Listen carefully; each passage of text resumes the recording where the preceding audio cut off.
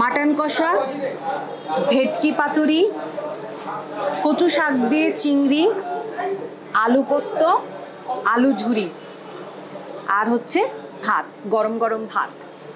আজকে পেট ভরে খাওয়া দাওয়া হবে। এরকম খাবার খেয়ে মরে গেলেও আর কোনো আফসোস থাকবে না। এত মজার এই ভেটকি পাতুরি। মাশাল্লাহ মাশাল্লাহ। কি খেললো এটা বাংলাদেশ? বাংলাদেশ থেকে কলকাতায় এত টাকা পয়সা খরচ করে আসলাম। শুধু তা না এখন থাকা খাওয়া কত খরচ? এই খেলা দেখার জন্য আরে। আমি আসলে অনেক অনেক বেশি হতাশ। এই আমার এই হতাশা মাখা চেহারা দেখে আমার বন্ধু বান্ধবরা বলল চল তোকে ভালো মতো কিছু খাওয়াই। আরে।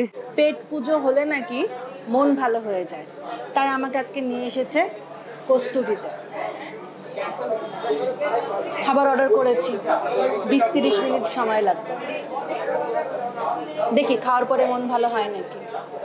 আমার ওদের প্রেজেন্টেশনটা খুবই ভালো লাগে। এই যে কাঁসার থালা, তার উপরে কলা পাতা, তার উপরে একটু ভাত নিয়ে নিয়েছি। এখন আমরা খাওয়া শুরু করব। ফার্স্টে আমি একটু আলু পোস্তটা দিয়ে শুরু করি। এই হচ্ছে আলু পোস্ত। পোস্ত দিয়ে আলুটা রান্না করা, ছোট ছোট করে আলুর পিস বিসমিল্লাহ।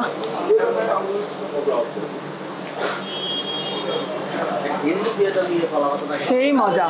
এখানে হচ্ছে গোটা জিরা দেওয়া আছে, পোস্ত বাটা দেওয়া আছে, আলু।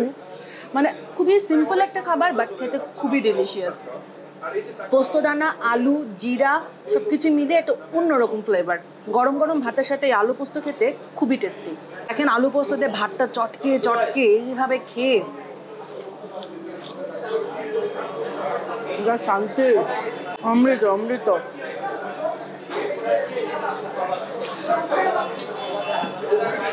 এখন ট্রাই করব কাস্তুরির ফ্ল্যাগশিপ আইটেম সেটা হচ্ছে কচু শাক দিয়ে চিংড়ি। তুমি খুবই ভেবে অবাক হচ্ছিলাম, কচু শাক দিয়ে চিংড়ি হয়? আর এই যে হচ্ছে চিংড়ি মাছ।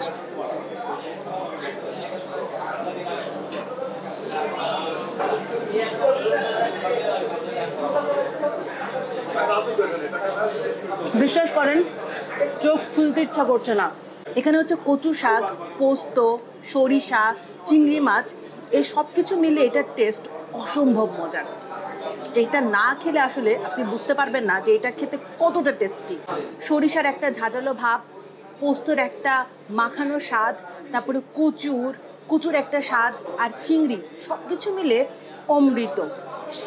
আর চিংড়ি মাছের সাইজগুলো কিন্তু বেশ বড় আছে। এখন আমরা ট্রাই করব হচ্ছে মাটন কষা। এই তিন পিস মাটন কষার প্রাইস হচ্ছে তিন, তিনশো বিশ রুপিস ঝোল নিয়ে নিলাম, মাটন নিয়ে নিলাম। সবাই বলে কাস্তুরিতে গেলে নাকি মাটন কষা খাবেনই খাবেন। ঝোল, মাটনের ঝোল, মাটন।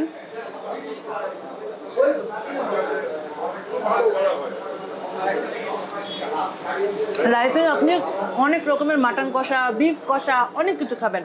কিন্তু এই মাটন কষার যে স্বাদ, আর কোনোটার সাথে সেম না, এটার টেস্ট একেবারে অন্যরকম। আদা, রসুন বাটা, এলাচ, দারচিনি বিভিন্ন রকম স্পাইসেস সব কিছু মিলে দিস ইজ অ্যামেজিং লাজবাব। এইটা হচ্ছে পারফেক্ট মাটন কষা।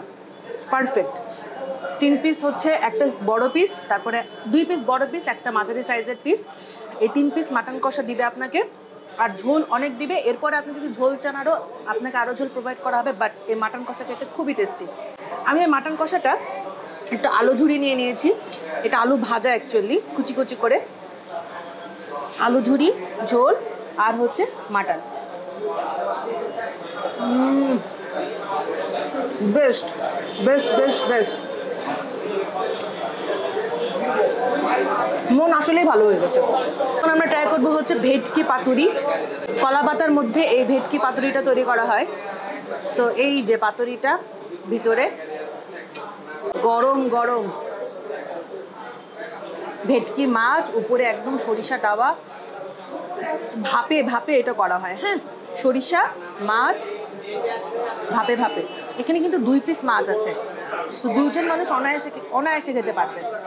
আমি একটু এমনি টেস্ট করে দেখি। একদম গরম গরম।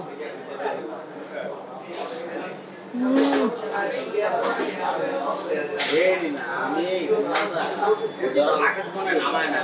সর্ষের যে ঝাঁজ, একদম নাকের ভিতরে যাচ্ছে। সর্ষের ঝাঁজে আমার নাক খুলে গেল। আর ভেটকি মাছটা একদমই ফ্রেশ কোনো স্মেল নাই। খুবই টেস্টি গরম গরম ভেটকি মাছ আর এই পাতুরি, সর্ষে। সব কিছু মিলে অস্থির। আমি যত জায়গায় বাংলা খাবার খেয়েছি, তার মধ্যে আমার কাছে সব থেকে বেস্ট লাগে কস্তুরির বাংলা খাবার। মানে এদের যে বাংলা খাবার স্টাইল যে টেস্ট সেটা আর অন্য কোথাও পাওয়া যায় না। কেন যে এরকম বাংলা খাবার অন্য কোথাও পাওয়া যায় না?